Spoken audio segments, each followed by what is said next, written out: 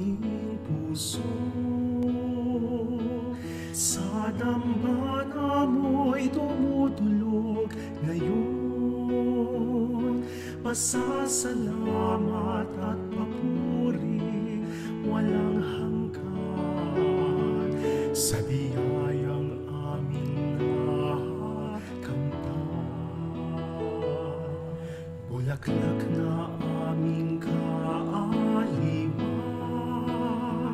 kaaliwan Sa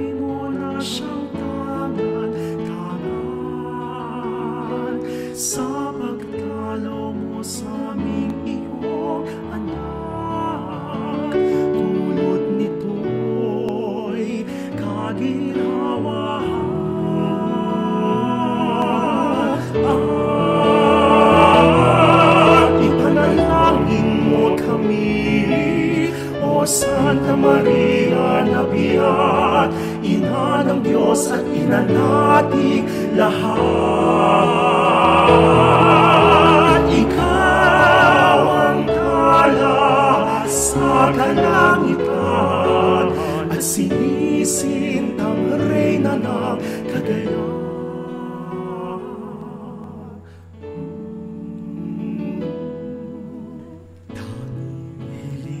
Reverend Fathers, my dear brothers and sisters in Christ, especially to you, our dear uh, devotees and pilgrims. We are all gathered here uh, today for this uh, fiesta of Our Lady of the Visitation here, housed here in this beautiful Basilica of Piat. Diyos ni kamunghamin, na imbaga malem tay amen.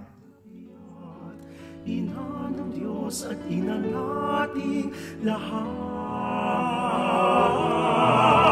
Ikaw ang tala sa kalangitan at sinisintang reyna ng kagayan.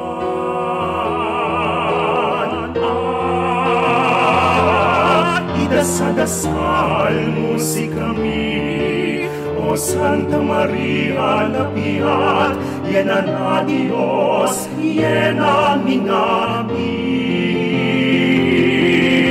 Sika, ivulan, dalahang anak, itedukan, nga reyna nga kagayon.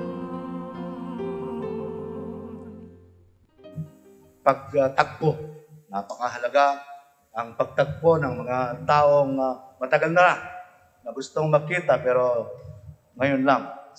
At ah, itong ah, pagtagpo ni Maria at ni Elizabeth, gusto ko rin uh, pagnilayan at pwede natin gamitin sa ngayon sa ating ah, ah, ah, pagdalaw dito ah, sa Basilica.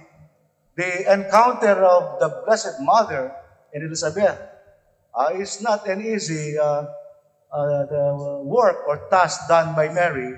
Yeah, it required uh, a long journey, a travel, a flight or exile, if you may put it that way. It's so important then to understand uh, uh, this encounter in the context of journeying. Santa Maria Diyos at Ina nating lahat. Ikaw ang tala sa kalangitan at sinisintang reyna ng So my dear brothers and sisters, mga kapatid, hindi madali ang mga lakbay ah, ng ginawa ng ating ah, mahal na ina.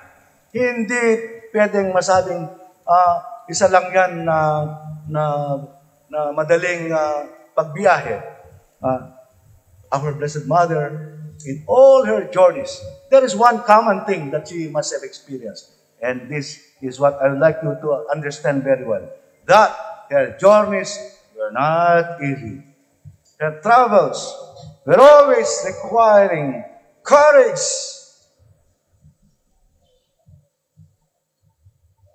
love, mercy in her heart. Her travels and journeys were always marked with patience. Santa Maria na piyat, Ina ng Diyos at Ina nating lahat.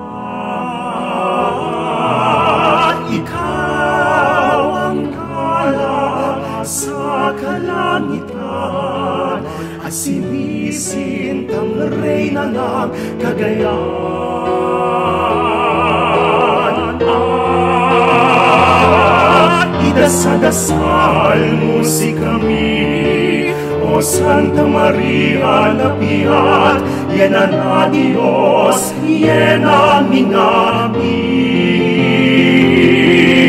Sika, ibulan, dalangin, anak, idedukan, nga reyna nga kagayon.